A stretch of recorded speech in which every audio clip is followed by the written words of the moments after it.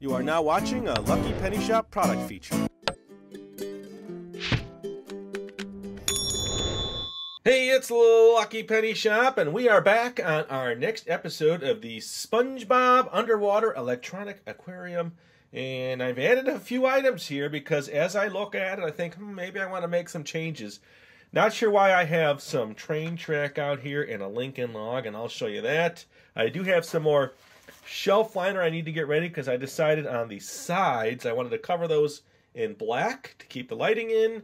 And then we're going to add our RoboFish to the tank this time.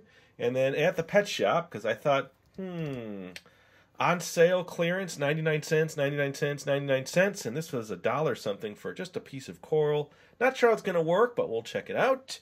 And then I wanted to add a little more light with a bubble feature. So this is an air stone course, then I needed a pump. So this is actually getting bigger than I had originally anticipated. But now we'll have a little action with bubbles. Why not? SpongeBob loves bubbles. So I have the tubing. I also have a check valve, which I need to install. So lots to do. First thing I think I want to do is do this black paper here and cover it with my shelf liner. And uh, that's what I'm going to do when I come back. So I've done this for you before, but I wanted to just do one side. The other side is done. I just did one side with this and then I taped it all the way around with my clear tape to kind of seal it in. So you've seen me do this, but I will do it one more time for you because I kind of want to keep you involved with the process as much as possible. So remember, I just peel it off on one end. Okay. Uh, let's see, maybe easier to do it this way. And then I got it on my table and I try to get it as straight as possible to start. Okay. I just did this. And then I moved across and down. Okay, and I keep pushing it down, pushing it down like that until it went all the way to the end.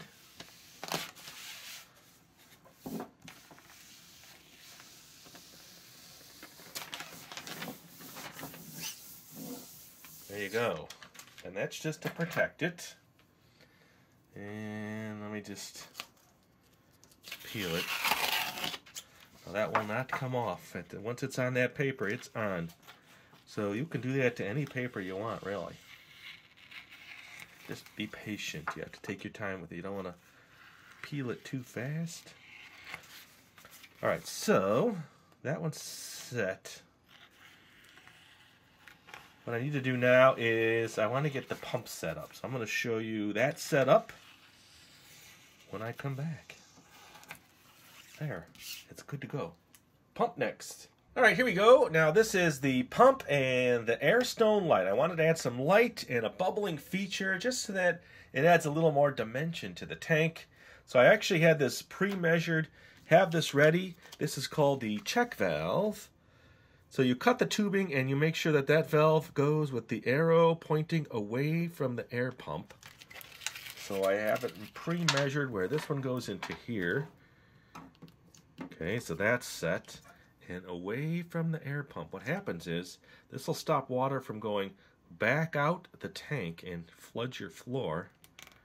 So that goes there. This goes here, and this goes over the tank and into the feature here. Let me plug this in. I'll show you what it does. Okay, so there's LED lights here. So watch when I plug it in. Look at that. So that will have bubbles coming up and then light it as it goes. So I was thinking about putting that in Squidward's place so that the bubbles come through the eyes. That might look pretty cool. So that is the next thing. Now let's check out the RoboFish. All right, so here's the new introduction to the tank today. This is the RoboFish My Pet Fish, and it looks like I have to put the batteries in, but it's water-activated swim sensors. It's a Zuru toy. Let's just see, collect them all. We have the clownfish, swims like a real fish, lifelike tail, fin motion, water-activated swimming mechanism. And that's really it. Let's let's get in here and check it out, huh? Let's see. Now we've had requests for RoboFish, so that's why I thought the tank itself would be fun so that we can introduce different... Ooh, He's moving. I have no idea why. Look at him. He just started flipping. So does it have batteries in it already? And then those are, oh yeah, there are batteries in there. Okay, let's see if there's instructions. It's like a fish out of water. You get a separate set of batteries, but no other instructions. So it looks like you just put them in the water. I'm not, I'm not sure. These are the sensors right here that when they touch the water, they have them start swimming. All right, he's set to go. So now let me show you what I'm going to do with the track and the Lincoln log.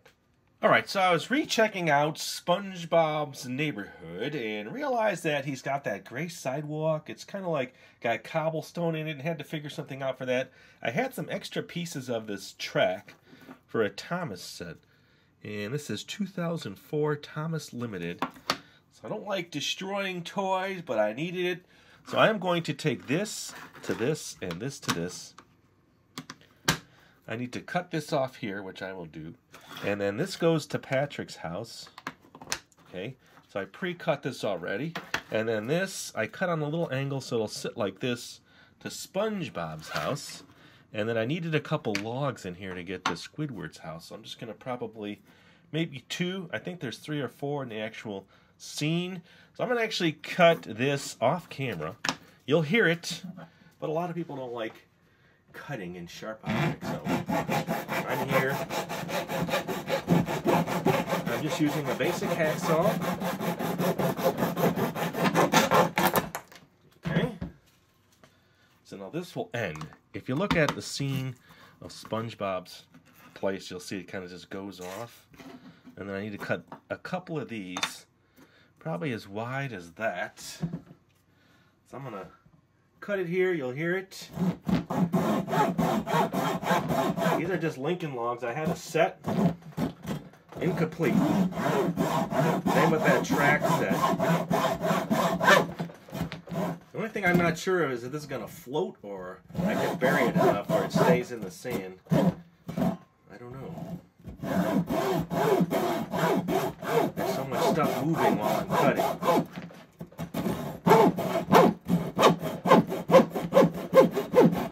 There you go. Piece number one. So that'll look like that, like a little walkway. And let me make one more. I'll use this for my length. Right, I'll mark it and then cut it.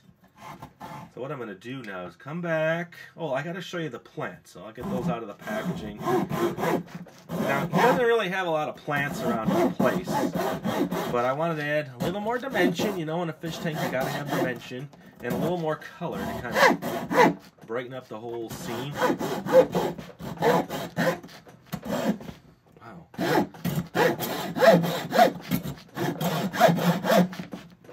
Cut than I thought it would be to cut. Not the best saw, hacksaw to cut wood.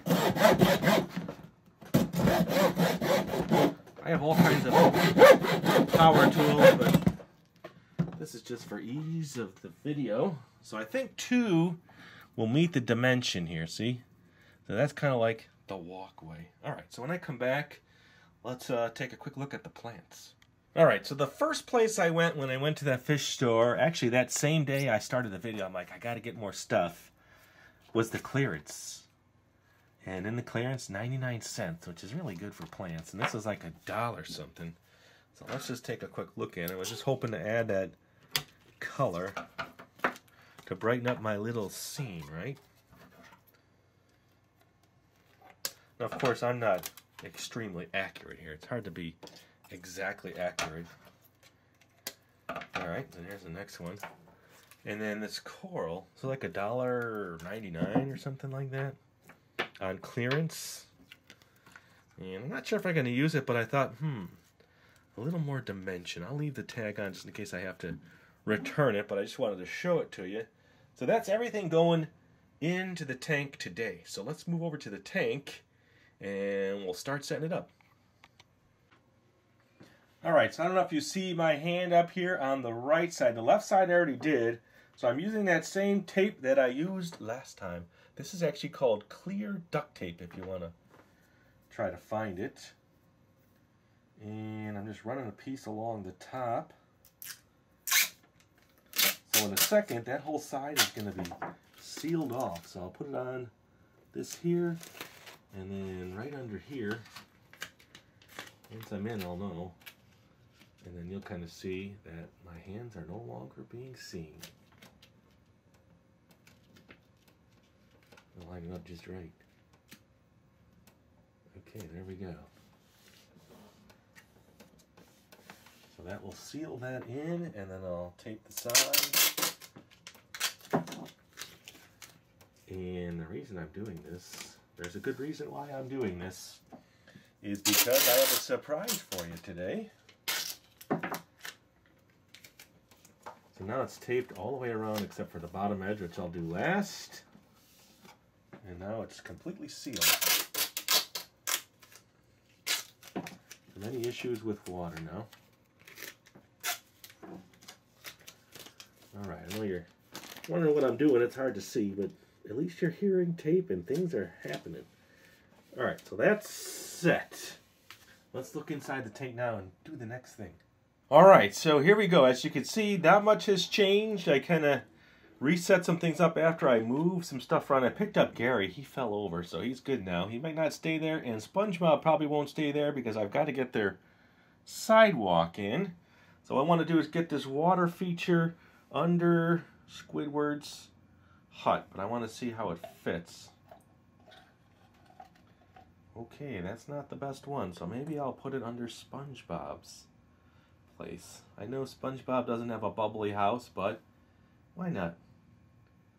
It looks like it'll fit.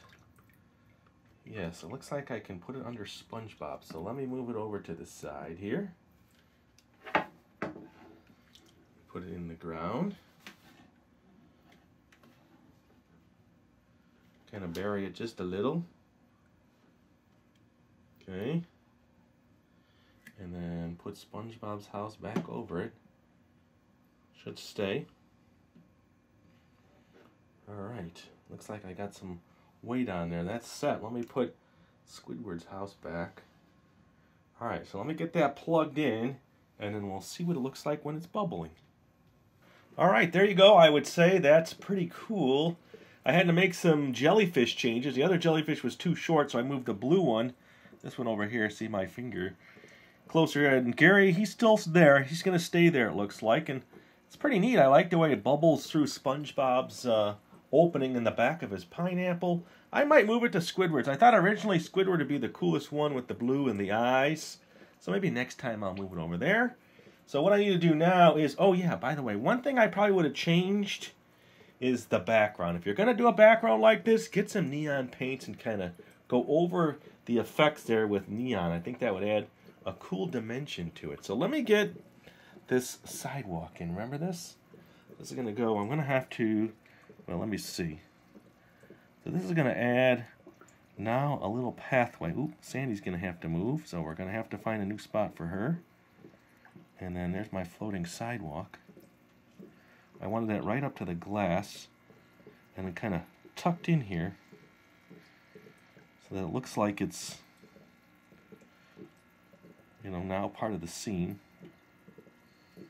So it goes over there and then this other piece goes to Spoke. I'm going to have to move SpongeBob. Let's move him here. He looks happy now with the bubbles. So that connects to his house. Okay, so a little sidewalk now. I'll give you another perspective.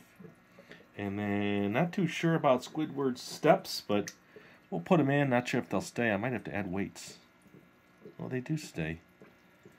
Probably not stay too long. They'll probably float away.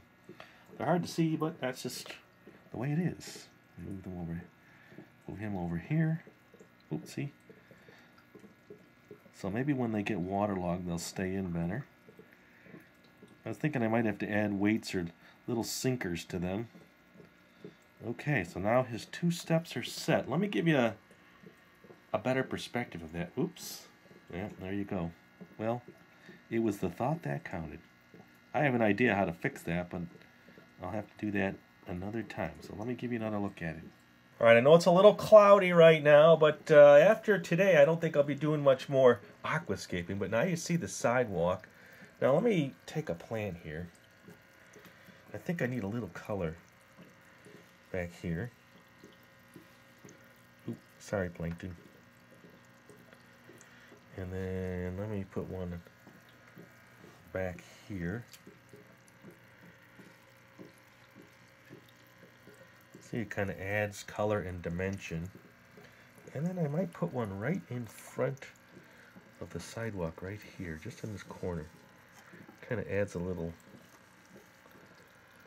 dimension there. Okay, everything is in. So when I come back, I think I got it. I don't think I'm going to put that big piece of coral in. When I come back, I'm going to put my uh, jellyfish back in and my new robofish. All right, so back to my jellyfish. Hopefully they turn on. Ooh, he's on. You've seen them before. I'm waiting for Squidward Sidewalk to pop up. Okay. And now my new robofish into his tank. Let's see. Ooh, he's swimming. Here he goes. All right, let's watch that for a little bit. Look, he's going all over. These sometimes need to be tapped a little bit more. Alright, so what I'm going to do is reset up my lighting, come back, and then uh, I'll let it run a little bit. Well, there it is. Look at him. Ooh, he hopped right in front. Now my jellyfish are not moving around too good. I think I might have to put new batteries in. I'm just going to leave them because right now it's about my robo-fish, and he's moving around really good.